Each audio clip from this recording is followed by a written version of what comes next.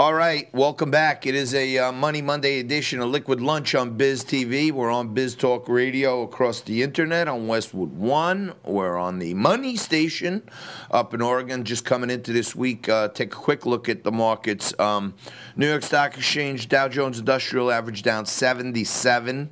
Uh, still some questions, I guess, out there, but not the major sell-off I've been looking for. Um, We'll see how that continues. Bitcoin in the midst of a major sell off as it hit 42,000 last weekend.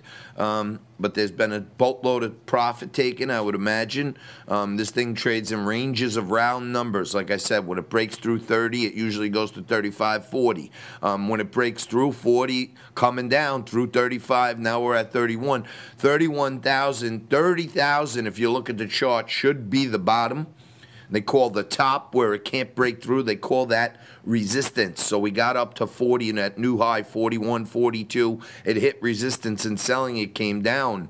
Now, I believe from looking at the technicals and the charts, the way I read them, I believe 30 should be what they call support where there's a level here where people think there's a great, tremendous value, and they'll come in with some more buying. So as it accumulates between 30 and 40, I'd keep your eye on it, but I certainly think there's a buying opportunity there that'll add some value to your portfolio.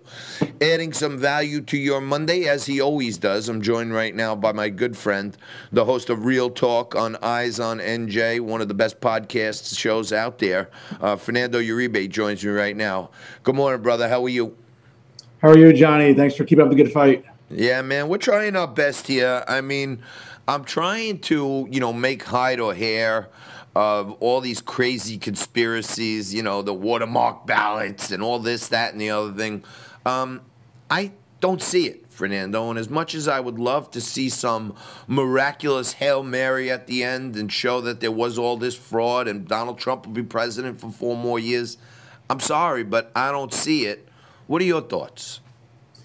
You know, John, I, have come to that same realization as you. And again, good afternoon, everybody here on a Money Monday. And, you know, it, it's really demoralizing because we've always grown up since really since elementary school when we learned history and, you know, took civics courses that, you know, we believed that elections were always going to be fair and honest uh, and trustworthy. And for a lot of us around the country, whether it be here in New Jersey or across the river with you in New York or anywhere else, uh, you know, we've become very skeptical of the process. Um, but again, apparently the results are what they are. Apparently, it seems that um, election law uh, varies state by state, and while people want to contest it or offer their conspiracy theories, I think that you know we have to sort of come to the just again the realization that uh, this election did not turn out the way it did uh, that we wanted it to. Um, I think we have to sort of you know take our wins like when we get them, and also take our losses and learn from this. I think it's I think it's vital, John, for the Republican Party now to sort of do a reboot and figure out exactly what direction they're going to head in uh, in four years. Uh, we're seeing that uh, you know Joe Biden now uh, will be inaugurated on the 20th of January, much to my dismay and also yours. But I think we also have to take, take this as a moment of, of pause and a moment to learn about what we can do better, not just as Republicans or conservatives but I think as Americans and, and what we want out of the two party system. And I think that's going to be up for debate uh, in these next four years, John. No, uh, look, uh, Fernando, we, you and I have been talking about this for the last couple years. We watched as Donald Trump's legitimacy as president was challenged from day one when they sent a bunch of undercover spies in to try to set him up for a crime, right through the whole thing. The collusion delusion, the Ukraine impeachment, the investigations into his son, the release of his tax records any way Nancy Pelosi and the squad and the progressive left could challenge the legitimacy of this president, they've done it. And now I just couldn't believe that a company like Twitter would show their cards a capitalist doesn't disqualify half of the potential audience, half of the potential paying folks.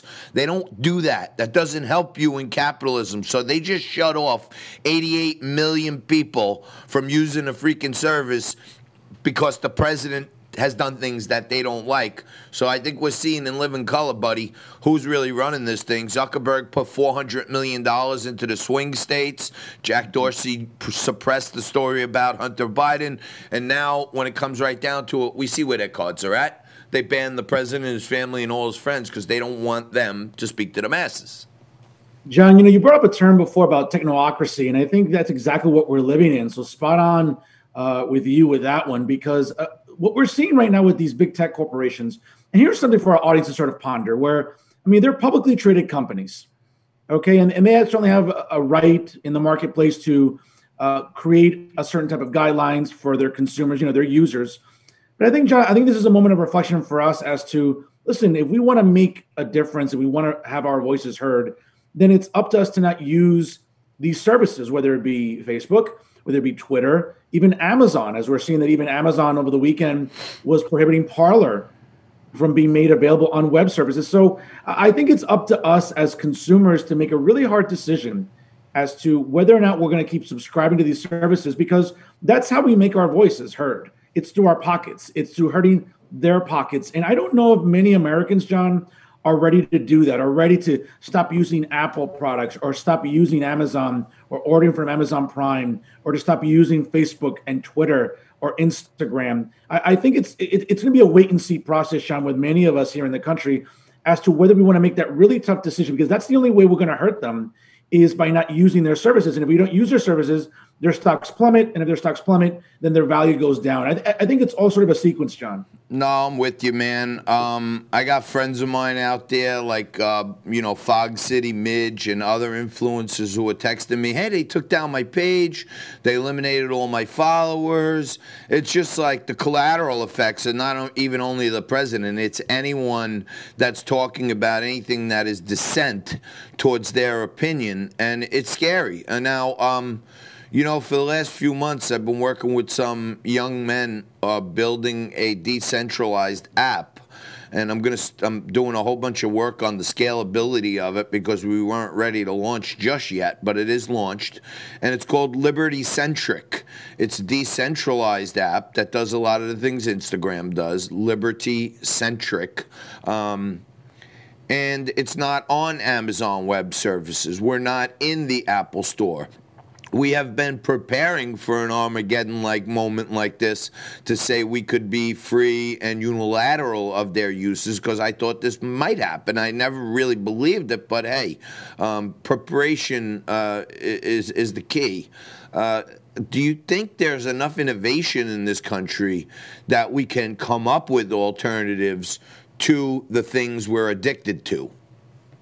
Uh, John, I would hope so, and, and, I feel confident that innovators like the ones you're collaborating with uh, will continue to work at this because at the end of the day, listen, we all remember 16 years ago, as a matter of fact, 17 years ago, when you know a little known Harvard student uh, was creating the Facebook, and we all know the story behind it. We all know about his underhanded tactics uh, with his partners and how shady he was, and then we've seen also the rise of Facebook, the rise of YouTube, uh, the rise of Twitter and Instagram, and even Snapchat uh, I have no doubt that innovation will continue, John, because that's the premise of technology. Uh, you know, 20 years ago, when we, you know, when the internet, actually 25 years ago, excuse me, when the internet broke on the scene, you know, we had no idea what it would sort of evolve into, and now we've seen high-speed internet and browsers that we've never thought were possible. I think, it, uh, listen, I think this is something that's going to be inevitable, and I think that people that are seeing how unhappy these current big tech companies are making Americans, it's going to motivate innovators more than ever now to come up with a new product, something that's competitive and something that's as compelling for users. Listen, I think Parler it was a good start. I'm seeing other uh, websites sort of surface, such as Gab.com and, and other services that slowly but surely, John, if people can rally behind it, they'll weaken and neutralize at some point the big tech com- companies, again, such as Facebook and Twitter and Instagram, because again, it's the free market. If people decide not to use these products, John, at some point these companies have to you know have, have a come to jesus moment and say listen what are we doing wrong? Why are we losing in the marketplace? Why are we losing customers? That's the only way we're going to teach these big tech companies not to mess with the consumers. But until then uh, we're powerless john. I mean it's as simple as that. Um, it seems like right now we're probably at rock bottom of helplessness because we've allowed ourselves to become addicted to these social media platforms. And it yes. really, really stinks. And if you watch the movie The Social Dilemma, they tell you straight up the people who invented these companies or big parts of their invention that the goal all along was to change your perception of what you want to hear Uh, and it seems they've done that. Now we're going to have to, you know, it's like a junkie. Um, sometimes you got to hit rock bottom uh, before you can get some help. And we got to figure out a way to fight our way out of this. Fernando, Absolutely. thank you, my brother. I appreciate it. Stay safe out there, and you keep up the fight too. We're probably going to get kicked off Facebook, the both of us, any day soon, but uh, we'll still be on Biz TV, and I'm working on a bunch of other alternatives that I can hopefully ex- disclose very soon. Thank you, brother. I appreciate it. Keep me posted, John. Best of luck. Sure will. Fernando Uribe, faculty member at Bergen Community College, host of Eyes on NJ. We'll take a quick break. We'll come back with more of your Money Monday today. Um, talk about the markets, talk about InvestView and Bitcoin mining a little more. And uh, Newsmax host of the uh, Saturday Agenda, Joe Pinion, joins us a little later in the hour. We'll be back right after this.